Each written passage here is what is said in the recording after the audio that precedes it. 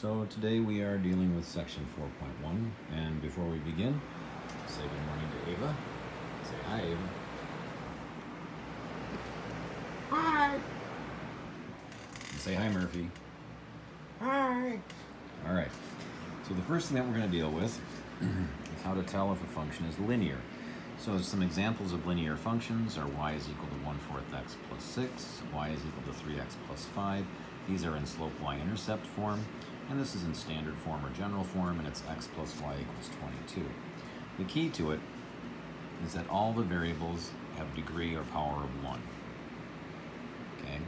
The degree, uh, if you have a degree of 2 or a degree of 3, the degree of 2 you can have up to two roots. So you, you can have one bend in there. There's always the number of the number that is the degree and you knock it down by one and that's how many turns you can have in your function. Um, now, examples of, uh, things that are not uh, linear. So we'd have negative 2x squared plus 3x cubed equals 6. 3x plus 5y squared equals 16. And this one I want to solve for y, just to show you what it looks like. So I'm going to subtract 3x, and I'm going to subtract 3x. And over here I'm going to have 5y squared is equal to negative 3x plus 16. And divide through by 5, and so each of the terms gets a 5.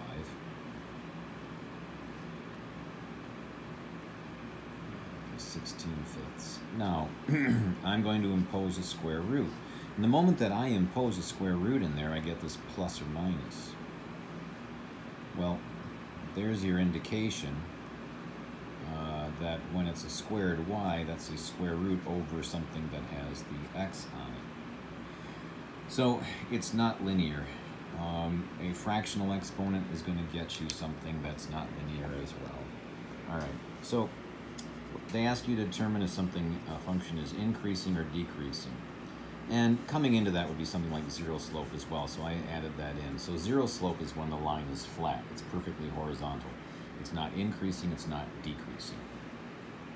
The way you tell if something is increasing is if the slope is positive.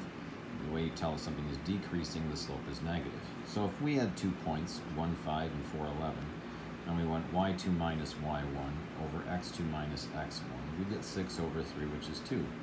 Well, that's a positive slope, so the, the, the, function is increasing. So I just wanted to make a quick note.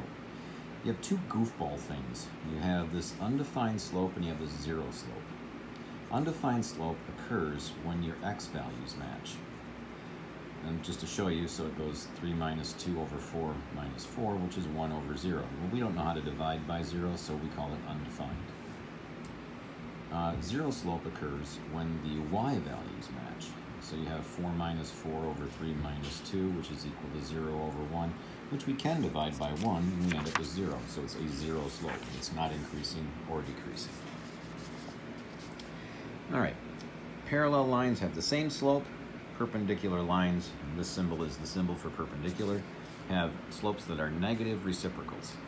And if you multiply them together, if you multiply the two slopes together, they should multiply to negative 1.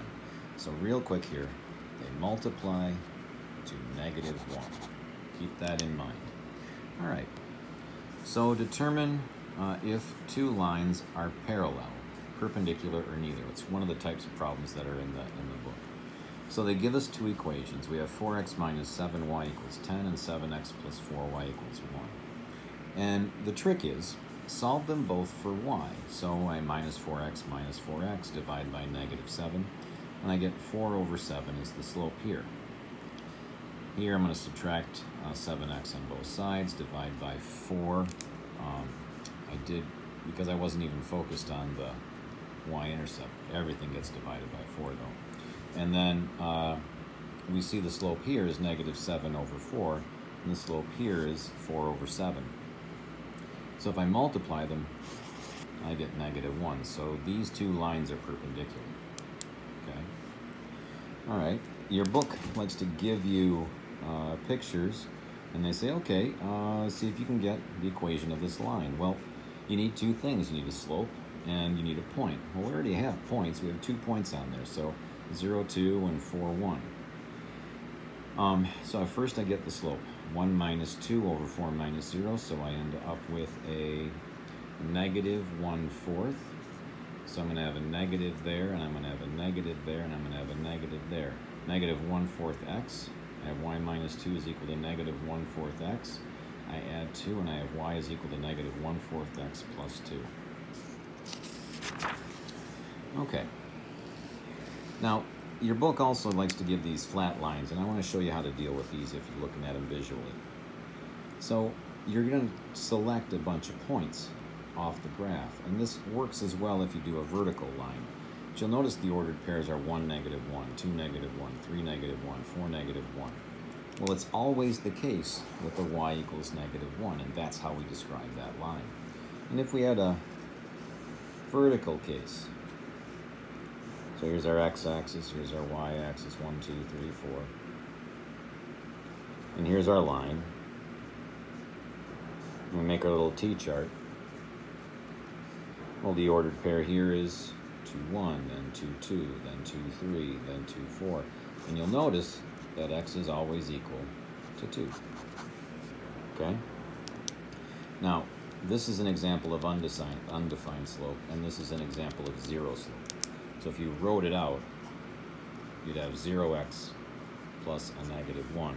Here we don't have a y value, so we can't actually even discuss about our, our, y part of our equation, so we can't really talk about slope in there. That's why it's undefined. All right, now another problem, uh, number 72 from the, from the book. They give you the y-intercept is 0, 2, and they tell you the slope is negative 3 over 2, and then find the equation of the line. Well, we have a point, we have a slope. Let's use the point slope form of a line. That goes y minus y1, there's our y1, is equal to our slope, there's our slope, times x minus x1, there's our point. Uh, negative 3 over 2 times x is right there. The 0, it falls off.